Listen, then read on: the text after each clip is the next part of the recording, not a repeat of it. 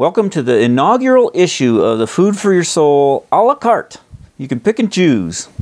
Whole point of this is just to give you something you can scroll through and pick out something that's helpful. You know, so many times go online, there's clickbait. You know, you find these things to click on, little videos or articles or whatever inane thing. You find a, uh, find yourself wasting so much time. And so what I want to do is create something a little bit like that, except the things you can click on will actually edify you and build you up and encourage you in the Lord. So the way I'm getting these, this isn't just random material. One of the reasons I'm doing this is I I realize over the years I have preached so many things that haven't sunk into my heart. I you know when you're preaching every week, it goes by kind of fast and some things take more than one week to really get a handle on and to really put into practice. And when you're preaching, you just have to move on to the next sermon every single week. So I'm going back through sermons over the years, listening through some of these series and picking out the cream of the crop as far as what's most life changing, what's been most life changing for me in my life, or what needs to be more life changing, the most important messages in each series. And, uh, and so, so I'm just going to give you the links each week as I come across this stuff. Uh, there'll be articles and quotations, book reviews when I finish a book, highlights from the books, uh, different sermons that have been helpful. So here's what we've got this week. First, the article on how to break a habit. This isn't new. Some of you have seen this before. I posted this last year, but it's January 1st. Time for New Year's resolutions. Pretty close to mid January, which is the time when most resolutions have gone by the wayside, right?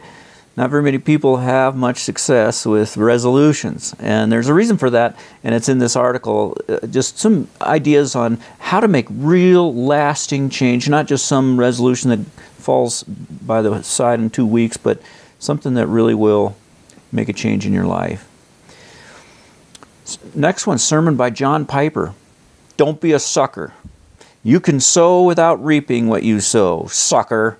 That's what the devil says to us, that and many other ways that he deceives us. People get taken in by financial scams every day.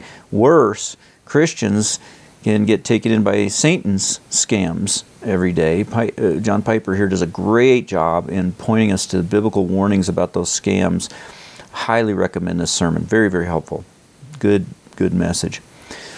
Next one, a sermon on uh, titled "Get Some Rest," and you might remember this one. It's more recent. It's a message that'll help you learn how to enjoy God's complete acceptance of you.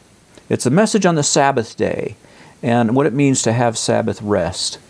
Do you, do you really, really enjoy it's a sense that God accepts you? He, you don't have to prove it, you don't have to justify your existence.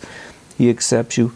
And do you enjoy that? What do you do when the weight on your shoulders is just too much, and the pressure for uh, is making life burdensome. The, the, the struggle to justify your existence, or the struggle to get what you think you need in order to be happy, or the oppressive struggle of measuring up in the eyes of your father, or your friends, or yourself, or whatever. How do you get rest from all that, and why is it so important to God that you find that rest?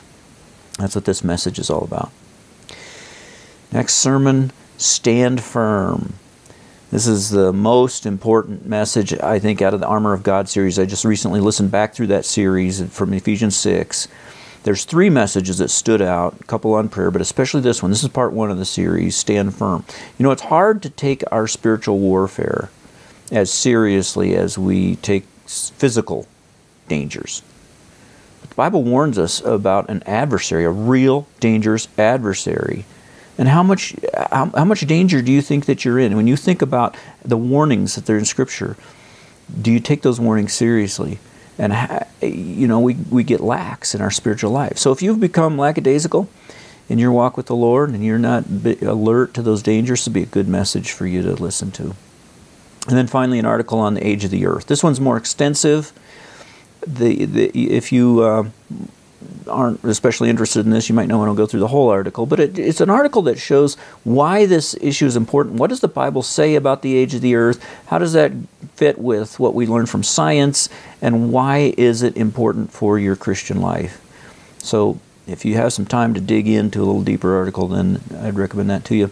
The uh, this quotation uh, didn't Chris Reeves heard it from someone else. I forget who, Ravi Zacharias or something like that. But I heard it from Chris, so I'm attributing it to him. I love it. The difference between a Christian and an atheist is the Christian believes in the virgin birth of one man, and the atheist believes in the virgin birth of everything. Minus the virgin, right? Not even a mother. Everything came from nothing. Great quote.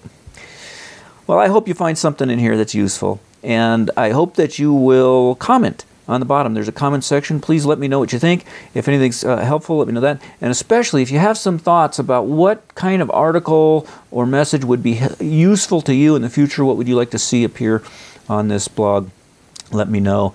And uh, make sure you hit subscribe. If you just if you just go over on the right side there, put your email uh, address in, hit subscribe. Then each week you'll get these. Whenever I update it, which will be for now, I'll do, do it once a week. It might move to once a month but uh, you won't get any email if there's nothing updated. It'll only email if, you, if there's something new. So uh, go ahead and click on that, and uh, I pray this will be a blessing. Lord bless you all.